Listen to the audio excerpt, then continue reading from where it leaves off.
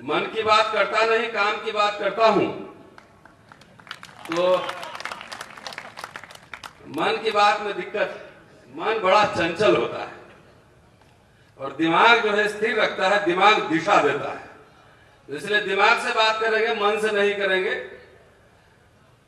क्योंकि दिल की बात नहीं करता, काम की बात करता हूँ, थोड़ी कड़वी भी होगी तो अच्छा लगे तो ले लीजिएगा, नहीं अच्छा लगे, छोड़ दीजिएगा, कोई दिक्कत वैसे मैंने इसलिए कहा कि थोड़ा कम बोलूँगा, क्योंकि गंगा ने और शंभुक ने, कहा गया? शंभू ने सारा मेरा कोर्स कंप्लीट कर दिया। वो एकेडमिक से लेके और पॉलिटिक्स तक जितना मुझे बोलना था, वो सारा कॉम्बिनेशन कंप्लीट हो गया, इसलिए मेरे पास बोलने के लिए कुछ बचा ही नहीं। चलिए फिर भी कोशिश करता हूँ, थोड़ा गर्मी है, थोड़ा सा गर्मी और बढ़े और थोड़ा सा आनंद भी ले। हर समय हर, हर समय तनाव में नहीं रहना चाहिए। कि ये जो लड़ाई आज आप लड़ रहे हैं यहाँ पे ये कोई नई बात नहीं है कि हम लड़ रहे हैं आप लड़ रहे हैं तमाम लाखों लोग लड़ रहे हैं इस देश में। इस देश में चार हज़ार साल से ये लड़ाई चल रही पच्चीस सौ छब्बीस सौ साल से तीन हज़ार साल से तो लिखित प्रमाण हमारे पास है। उसके पहले हज़ार साल है। क्योंकि हरप्पा सभ्यता की स्क्रिप्ट पढ़ी नहीं गई है। तो इसलिए उसका यकीनन नहीं कह सकते, लेकिन चार हज़ार साल से लड़ाई चल रही। तो हर समय टेंशन में नहीं रहना चाहिए। टेंशन रिलीज़ करते रहना चाहिए। टेंशन में रखेंगे तो फिर क्या कहते हैं भोजपुरी में? वो नसिया फट जाएगी इधर की, नस फट जाएगी। तो थोड़ी सी बात, एक इकबाल साहब के शेर से शुरू करता हूँ। खुदी को कर बुलंद इतना। खुदी को कर बुलंद इतना कि हर तकदीर से पहले खुदा अपने बंदे से पूछे, बता तेरी रजा क्या है? मतलब वो रिंग में अपने आप को उतारना पड़ेगा, अपने आप को इतना बुलंद करना होगा ये साहेब लोग हम राजनीति पे नहीं बोलेंगे। ये साहेब लोग जो दिल्ली से जयपुर तक बैठे हुए हैं। वो कम से कम आपके घर पे आए और बोले क्या दिक्कत है, क्या शिकायत है, क्या चाहिए आपको? इसलिए आपको बुलंद करना होगा। इस बात का प्रमाण है कि आप बुलंदी की ओर जा रहे हैं। दूसरा जो जागरूकता चल रही है, उसके सिलसिले में एक दो लाइन और मैं आपके सामने साझा करना कि मैं अकेला ही चला था, जानी वे मंजिल मगर। मैं अकेला ही चला था, जानी वे मंजिल मगर। साथ आते गए और कारवा बनता गया। आपके शहर में कहाँ कहाँ से वकील साहब आए हैं? सुप्रीम कोर्ट से हम लोग बिहार के रहने वाले हैं, दिल्ली में पढ़ाते हैं, लेकिन इधर हैं, लगातार बने हुए हैं। धीरे धीरे आप लोग जो प्रयास करते हैं, वो कारवा बनता चला जा रहा है और इसको रोकना नहीं जब पहाड़ पे चढ़ते हैं तो कार का मोटरसाइकिल का गियर बदलते हैं। तो one step forward two steps back कई बार होता है। तो कई बार छलांग भी लगानी पड़ती है, कई बार कूदना भी पड़ता है। एक पास की पंक्तियाँ हैं, वो भी मैं सोचता हूँ कि आपसे साझा कर लू। सबसे खतरनाक होता है मुर्दा शांति का मर जाना। सबसे खतरनाक होता है मुर्दा शांति का मर जाना। न होना तड़प का, सब कुछ सहन कर जाना। घर से निकलना काम पर और काम से लौटकर घर आना। घर से निकलना काम पर और काम से लौटकर घर आना सबसे खतरनाक होता है हमारे सपनों का मर जाना।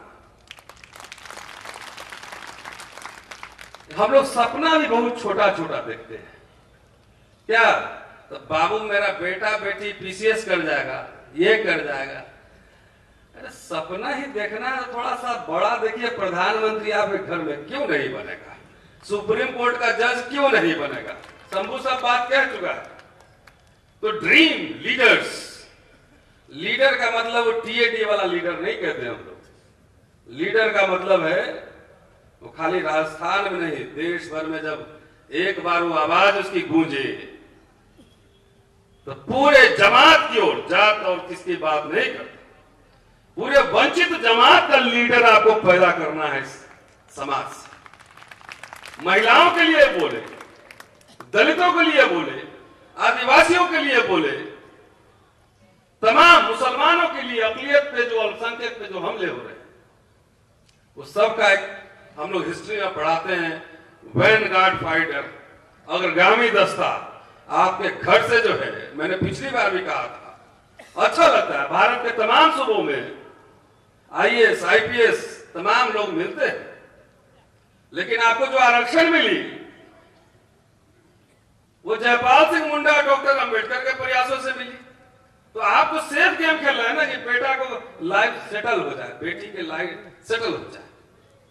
जो जमात सबसे वंचित, जो सब समृद्ध जमात है, उसको तो अभी शंभू ने कहा कि आपके समाज से अखिल भारतीय लीडर पैदा होना चाहिए, जो तमाम वंचित वर्ग की लड़ाई लड़े नेता बनाए लीडर इंटेलेक्चुअल लीडर तैयार कीजिए। हिस्टोरियन तैयार कीजिए, इतिहासकार तैयार कीजिए। आज भारत में ढूंढ के देख लीजिए, सत्तर साल बाद हम लोग बहुत ही सिक्योर लाइफ में रहते हैं। न इतिहासकार बनाया, न समाजशास्त्री बनाया, न अमर्त सेन बनाया, न रोमिला थापर बनाया, न स्कूल खोले, न कॉलेज खोले, न मीडिया कराने खोले, न संस्थान बनाए, कुछ नहीं बनाए। शॉर्टकट चलते हैं कि बेटा का लाइफ सेट हो जाना चाहिए। सेट हो जाना चाहिए तो भाई सेट क्या होता है? सेट तो वही है बजड़ी और सीमेंट सेट होता है। मकान बनाते बोलते ना, मसाला सेट हो गया। तो बेटा और बेटी को अगर 25 साल में सेट करवाएँगे तो समझिए कि मर तो गया, सेट हो गया 25 साल में ही, सिर्फ़ दफनाया जाएगा अस्सी साल में या सत्तर साल में। एक जीवंत आदमी एक जीत ज़िंदा आदमी, एक सोचने समझने वाला आदमी, एक बोलने वाला आदमी, एक लिखने वाला आदमी, उसका लाइफ कभी सेट नहीं होता है। सेट बिल्डिंग होता है बिल्डिंग उधर। चलिए एक कथा भी सुना देता हूँ। बीच बीच में गंभीर भी चलता रहेगा। तो कथा इसलिए सुना रहा हूँ कि प्रतीक है। प्रतीक के माध्यम से हम बात को समझेंगे। कि एक जो आरक्षण और आप तमाम जो बातें हो रही है कि हम शासक थे और कैसे? शासक फ्रॉम शासक टू आरक्षित वर्ग। ट्रांसफॉर्मेशन कैसे हुआ इसको समझना। कि भाई एक बड़ा बेहतरीन खरगोश थी। वो बड़ी मेहनत से अपना आशियाँ, अपना मकान बनाई थी। रोज वो अपना खर पतवार चुन के लाती थी और अपना मकान और तमाम ये सब बनाती थी अच्छे से। दूर से एक मोटा तगड़ा खूंखार जो है बिल्ली था, बिल्ला। वो रोज जो है वो खरगोश को पकड़ने के लिए, वो दौड़ता था पीछे। खरगोश जो है, हर दिन भाग के बच के निकल जाती थी वहाँ से। ये ये दस्तूर चलता रहा, कई हफ्तों तक चलता रहा। तो एक दिन वो बिल्ला जो है, आया उसके दरवाजे पे, बोला कि, भाई, ऐसा है। मैं इतना कपटी षड्यंत्र करने वाला लुक छिप के तुमको पकड़ने के चक्कर में रहता हूँ। समझता हूँ किसी तरह छल प्रपंच करके धोखा दे के तुमको दबोच लू। लेकिन तब भी तुम मेरे इसमें नहीं आती है। शिकंजे में इसका राज क्या है? तो बोली खरगोश की तू बहुत ही शातिर है, कपटी है, कपटी। समझ रहे हैं ना कपटी क्या होता है? इसका प्रतीकों में समझिएगा।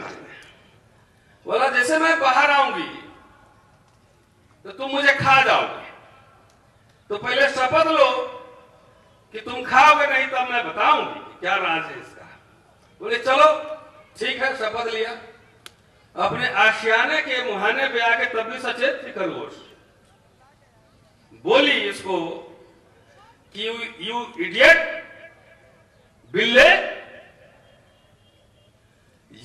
are running for your food और I am running for my life that is the basic difference कि आप अपने भोजन के लिए मुझे दौड़ा रहे शिकार बनाना चाहते हैं, और मैं अपने जीवन की रक्षा के लिए मैं भागती हूँ, इसीलिए मैं बच जाती हूँ, तुम हार जाते हो और हम जीतते हैं बार बार ये चार साल से यही स्थिति, चार हज़ार साल से हरप्पा सभ्यता आर्यों ने नहीं बनाई थी। इस देश के लोगों ने बनाई थी मूल निवासियों ने। आप आए, लूटपाट कर दिए, सब तोड़ फाड़ दिए, लोग मार दिए, जंगल में खदेड़ दिए। और आज जो है, हमारी स्थिति चार पाँच साल में, चार पाँच हज़ार साल में, जो स्थिति है, वो सामने एक भाई साहब ने मेरे से पत्रकार में पूछा था ये भाई एक बाबा उधर नंदन है, बोला है कि आरक्षण ने देश को बर्बाद कर दिया। तो मैंने कहा कि वो सही कह रहे हैं, आरक्षण ने ही देश को बर्बाद किया है। लेकिन वो आरक्षण संविधान प्रदत्त आरक्षण ने नहीं बर्बाद किया है। वो जन्म आरक्षण ने बर्बाद किया है।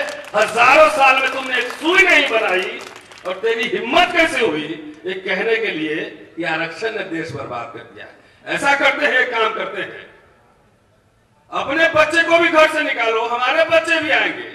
सबको अलग अलग हॉस्टल में रखो, एक साथ पढ़ाओ, एक समान शिक्षा दो। और देखते हैं किसमें कितना दम है, चुनौती स्वीकार है? नहीं है, क्योंकि मैं जानता हूँ कि आपका सारा काम सेटिंग से होता है। सारा काम हेरा फेरी से होता है। और हमारे जो बच्चे आते हैं, मैंने खुद संघर्ष किया, मैं कि पता नहीं कितने मुकदमे मेरे ऊपर होते रहते प्रशासन की नज़र में I am not a good man not a good boy प्रशासन की नज़र में मैं एक बिगड़ा हुआ आदमी हूँ और मैं चाहता हूँ कि इस तरह के बिगड़े हुए आदमी देश के लाखों की संख्या में खड़े हो, लाखों की संख्या में बाहर आए, जो इनके अत्याचारी शासन पे, इनके दादागिरी पे सवाल खड़े करे, सवाल पूछे। क्यों? अरे मैं इतिहास का छात्र हूँ, इतिहास पढ़ाता हूँ। मेरा काम ही है सवाल पूछना, सिखलाना। अभी वकील साहब सुप्रीम कोर्ट हैं हमारे साथ। कोर्ट में वही होता है, सवाल जवाब। जब सवाल जवाब नहीं किए, तब आप साइंटिस्ट नहीं बनाएँगे, आप इंटेलेक्चुअल नहीं बनाएँगे। आप क्या बनाएँगे? भगत भगत, भक्त बनाएँगे। और भक्त बनाएँगे जब तो खाली गाय गोबर ही तो होगा, और क्या होगा गाय गोबर ही होना है। तो हमें भक्त नहीं तैयार करना है, हमको डीलर नहीं। लीडर तैयार करना है, लीडर। अभी आपके संस्कृति, कल्चर पे बहुत सारी बात हुई थी। अभी गंगा ने बहुत विस्तार से बात कही। मैं आपसे सिर्फ़ एक बात कहना चाहता हूँ संक्षेप में, कि अगर बिल्ली को अगर दही की रखवाली दे दे और सोचे कि दही हमारी ठीक ठाक रहेगी, बची रहेगी तो इस दोष क्या बिल्ली का है तो बिल्ली का है कि हमारा है, बोल दीजिए। तो आप वही काम कर रहे हैं, दो कॉन्ट्राडिक्शन के साथ जी रहे हैं, दो अंतर विरोधों के साथ जी रहे हैं। कह रहे हैं, बुंदा आदिवासी मीना समाज संस्था। तो आप आदिवासी हैं कि हिंदू है, पहले तय कर लीजिए। आदिवासी है कि हिंदू है, पहले तय कर लीजिए, इसलिए माताएँ बहने इधर। शंभु अभी ठीक कर रहा था। वो टीवी में संतोषी माता नहीं देखने का है। टीवी में देखना है सावित्री बाई फूले यूट्यूब पे ढूंढ के। सावित्री बाई फूले, इस भारत की पहली शिक्षिका थी। सरस्वती जी नहीं थी। ये पता होना चाहिए।